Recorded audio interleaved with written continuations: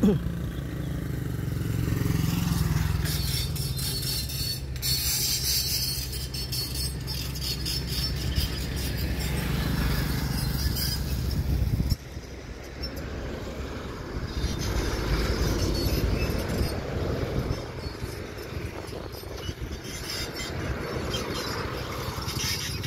นปรับพื้นที่นะครับเสียงกันรัวเกตทางคู่นะครับ ก็จะมีอุโมงค์ขนาดเล็กนะครับสำหรับคนเดินเท้ามอเตอร์ไซค์ซาเล้งจักรยานใช้ลอดทางทางรถไฟได้ครับ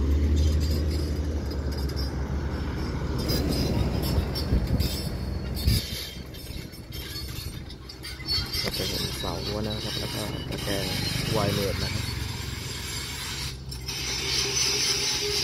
เราเตรียมไว้แล้วครับ